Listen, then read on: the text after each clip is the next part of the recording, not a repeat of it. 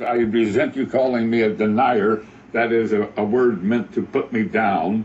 I'm a skeptic about climate change, and I want to make it darn clear Mr. Kenny's not a scientist. I am. He's the CEO of the Weather Channel now. I was the founder of the Weather Channel, not the co-founder. And I'm glad you did because I am addicted to the Weather oh, Channel. Oh, God, shut up now. Hold on just well, a minute. I'm not done. And CNN has taken a very strong position on global warming that is that it is a consensus. Well, there yeah. is no consensus in science. Right. Science isn't a vote. Science is about facts. And if you get down to the hard, cold facts, uh, there's no question about it.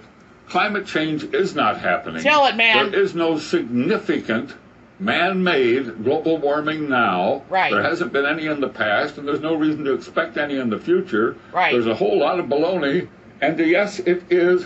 It has become a big political point of the Democratic Party and yep. part of their platform, and I regret it's become political instead of scientific.